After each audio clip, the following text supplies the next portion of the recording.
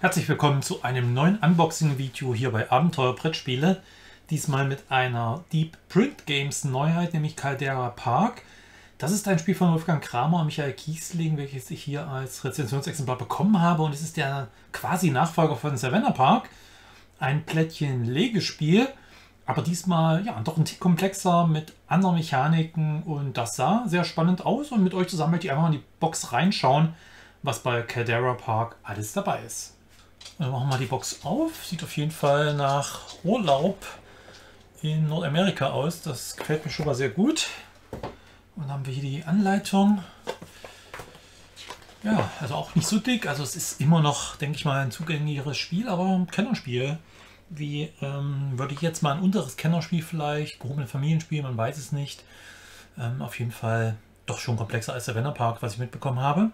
Ja, auf jeden Fall 140 Tierplättchen, 35 pro Person. Wir haben eine Aktionstafel, so eine Zentrale, einen Auswahlbereich. Wir haben eigene Parks, also ein eigenes Ablagetableau. Wetterplättchen, das ist so ein Modul, was noch mit reinkommt. Ja, und dann haben wir die Spielvorbereitung, den Spielablauf mit der Wetteraussicht, äh, die Aktionsrunden. Also das Wetter ist hier offensichtlich schon direkt wirklich als ähm, Element am Anfang jeder Runde oder jedes Durchgangs mit dabei. Nach der Wetteraussicht kommen die Aktionsrunden und dann das Durchgangsende. Und dann legen wieder alle parallel ihre Plättchen und versuchen halt entsprechende Wertungen damit zu erfüllen und möglichst viele Punkte zu machen. Auch hier wieder hat man ja auch wieder diese verschiedenen ähm, Wasserlöcher, die dann halt entsprechende Multiplikatoren mit den, Tier, mit den Tieren sind.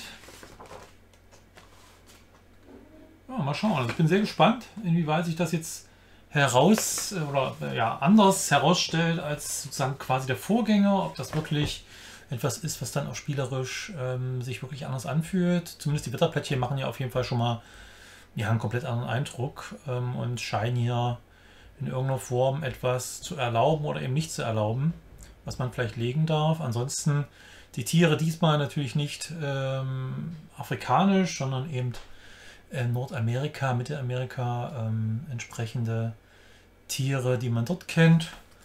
Und hier diesmal nicht mit komplett anderen Farben, sondern diesmal mit so einem ja, Tiersymbol, so ein Pfotensymbol. Man sieht hier dann eben die unterschiedlichen Arten, was eben dazu führt, dass es ja, vielleicht etwas schwerer zu sortieren ist. Aber auf jeden Fall ähm, dann nicht ganz so farblich äh, sehr stark unterschiedlich aussieht, wie das beim Vorgänger war. Dann haben wir hier so ein Spielertableau. Das ist auch zweiseitig und offensichtlich unterschiedlich. Ich weiß nicht, ob vielleicht immer die eine Seite immer gleich ist und die Rückseite scheint aber auch gleich zu sein. Also hat man einfach zwei verschiedene Seiten.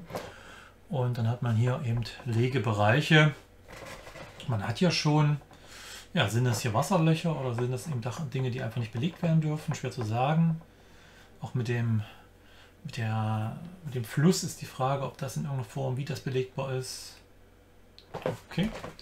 Da gibt es auch vier von. Hier oben hat man dann noch etwas, wo man wahrscheinlich was anlegen kann. Da unten auch. Dann habe ich das zentrale Tableau. Und hier liegen dann wahrscheinlich entsprechend Plättchen aus, wobei dann auch immer, ja, je nachdem wahrscheinlich bedeutet, wo man vielleicht was hinlegen darf, kann ich mir vorstellen.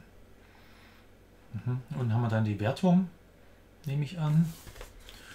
Okay, dann haben wir hier vier Möglichkeiten, die Plättchen zu verstauen. Das war ja schon im Vorgänger ja, schön, dass man da eben wirklich schon äh, solche kleinen Kistchen hatte, wo man die Plättchen reinpacken konnte. Das hat man hier auch eben für die einzelnen äh, vier, Spiel, für die vier Spielerinnen und Spieler die Materialien. Und dann haben wir hier noch einen Wertungsblock.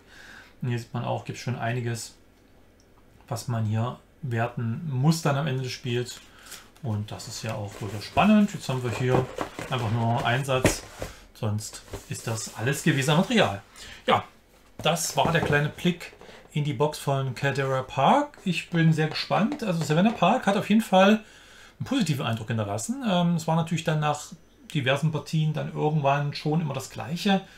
Aber ich fand es schon so dieses sehr einfache Spielprinzip möglichst optimale Gruppen zu legen und dann natürlich näher zu schauen, okay, wo versuche ich mir was freizulassen, wo versuche ich mir Optionen offen zu lassen, wo ja, sage ich vielleicht auch, okay, da kann ich jetzt nicht mehr mehr anbauen, da gehe ich lieber auf eine andere Gruppe. Also das hatte schon immer so taktische Entscheidungen, die interessant waren. Und ich hoffe natürlich, dass hier bei Caldera Park das grundsätzlich natürlich auch so ist, plus dann hoffentlich gegebenenfalls dann eben auch zum Beispiel durch diese Wetterplättchen und diesen Wettermodule, ähm, ja, dass man da noch ein paar andere Möglichkeiten oder andere Herausforderungen hat. Ich bin gespannt. Ihr könnt ja gerne mal Kommentare hinterlassen, was ihr so von solchen Plättchen-Legespielen haltet, ob, ihr, äh, ob euch die interessieren, ob die für euch interessant sind. Und dann würde ich mich freuen, wenn ihr den Kanal abonniert und wenn ihr mal auf abenteuer-brettspiele.de vorbeischaut, meinen Blog. Dort findet ihr eine Menge mehr Infos rund um Brettspiele, die Vorstellung von Neuigkeiten, Reviews, Toplisten und zum Beispiel auch meinen Podcast. Das war's für heute und wir sehen uns im nächsten Video wieder. Bis dann!